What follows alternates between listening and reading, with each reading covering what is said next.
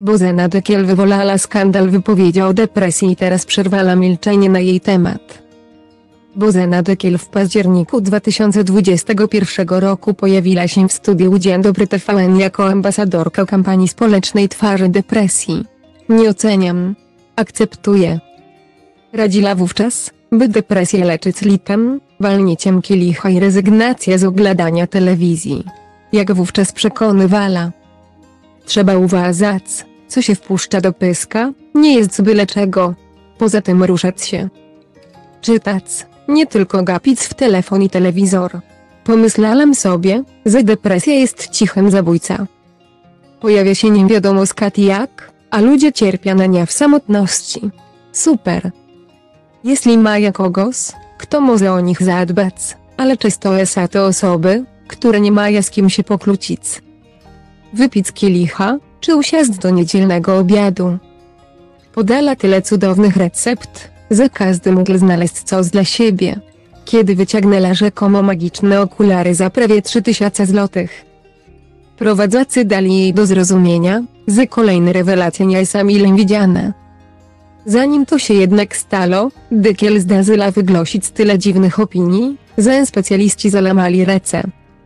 A Paulina Mlynarska poczula się w obowiązku wyjaśnić, że jej ojciec Wojciech, którego przykład Dykiel uparcie się przywolwala. Nie cierpiał na depresję lecz chorobę afektywna dwubiegunowa. Bozena Dykiel zdarzyła już wcześniej zasłynąć stanowczymi poglądami, którym wydaje się niespecjalnie przystawać do obecnych czasów. Po tym, gdy kilka lat temu przedstawiła swoje hipotezy na temat przyczyn, dla którego TVN nie wydał kalendarza serialu na wspólnej. Rzecznik stacji musiał tłumaczyć, że jej wypowiedź nie miała charakteru rasistowskiego, tylko tak dość sobie chlapnęła.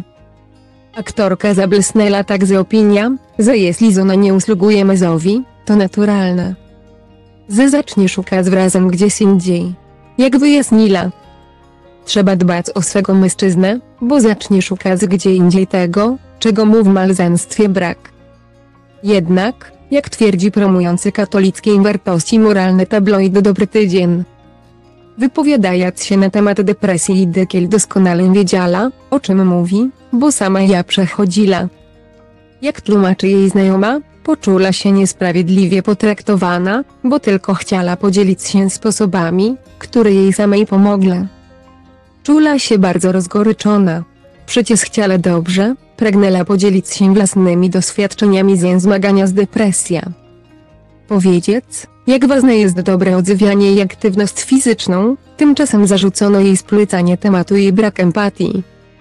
Jak donosi dobry tydzień, to właśnie dlatego przez kolejne miesiące witała się z fotoreporterami Słowem Wynocha skończyło się zwolnieniem ze stanowiska ambasadorki kampanii Twarzy Depresji i zakazem wypowiadania się na temat tej groznej, czysto śmiertelnej choroby.